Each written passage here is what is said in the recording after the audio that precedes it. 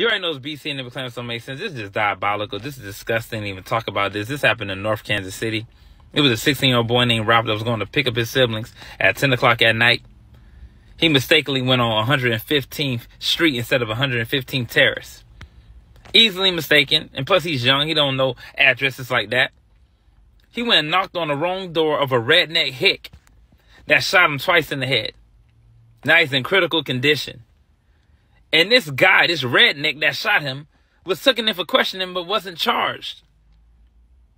Wasn't charged at all. And people really think that the world is rid of uh, racism, of things like this. Let me tell you something. We we living in an environment, in a place where social media has really blinded people.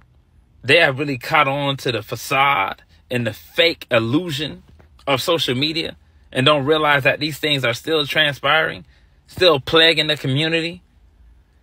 And this is just disgusting that that guy is not even arrested at all. He's not, it's like they doing an investigation, but this guy, they went to try to uh, interview him, one of the dang reporters, and it was, he was just out there cleaning up his porch, you know, just cleaning up glass. this is ridiculous, bro.